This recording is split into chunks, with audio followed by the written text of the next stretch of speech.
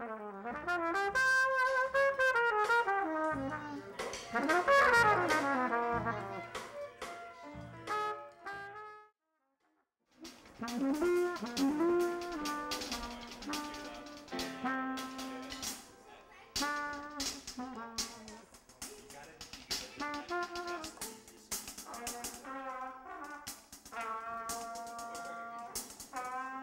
learned it?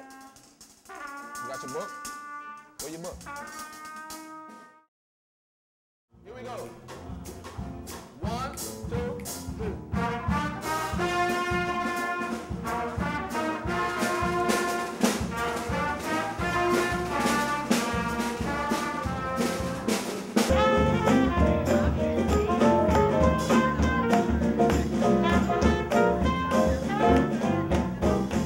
Everybody, oh, when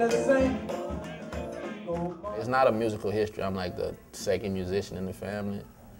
My dad did it for the fun of it, but it happened to turn into a career for me. Like a lot of star jazz musicians used to come through the camp and do a residency there.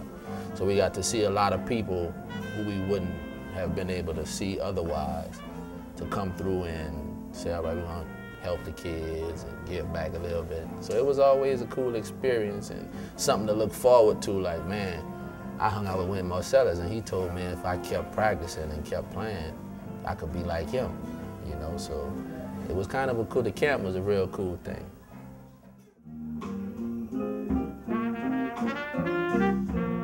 Like where I grew up, the guys who I looked up to, they had all the money, was like drug dealers, you know, they had all the women, all the cars, the big house, the money, you know.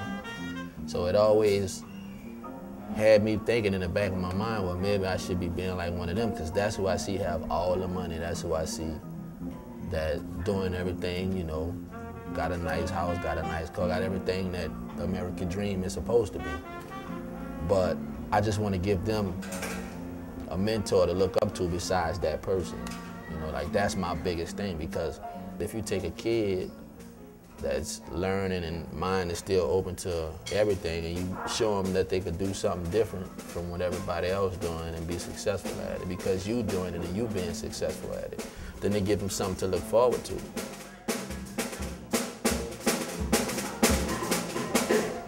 All right, y'all give it up for it one time.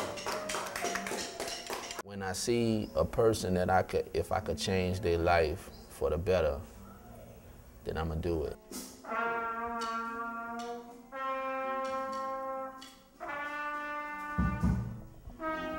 I tend, I tend to take my own approach because growing up, I had a lot of teachers that were teaching jazz that wouldn't let me do funk, or teachers who were teaching me funk wouldn't let me do jazz, and I just didn't understand why when it was all music. And like a lot of my teachers always put restrictions and limitations on what you can do, when you can do it, where you can do it.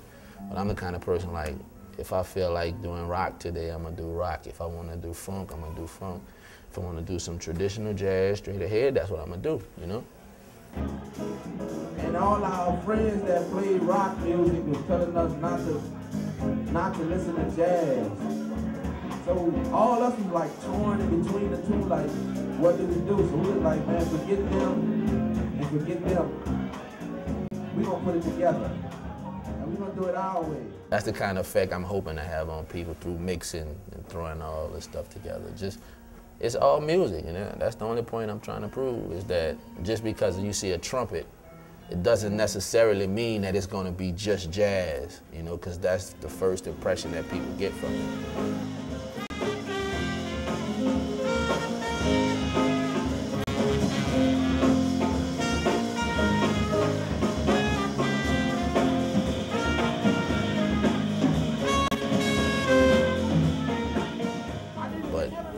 I'm to put the trumpet down and start rapping, and you know, I'm, I'm just, it's all about music to me, man. You know.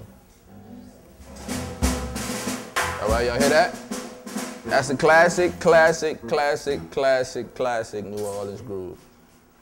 90% of the songs you play in New Orleans, like when you're playing actual New Orleans traditional jazz or second line music, gonna use that beat.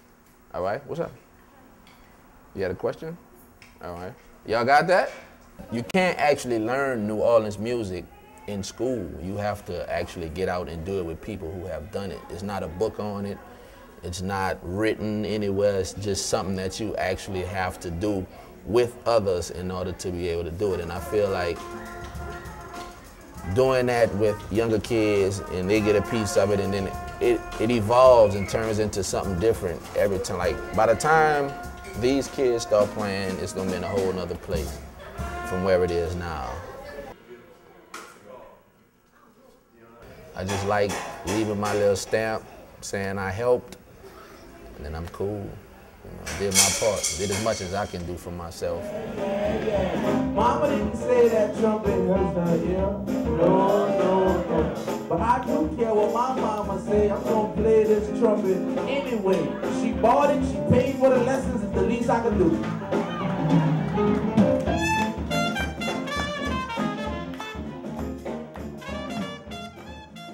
This is my weapon of choice, not a gun, you know, not a knife, not anything violent. This is my weapon, and if you stand next to me with my weapon, you know, I'm gonna have to cut you up a little bit.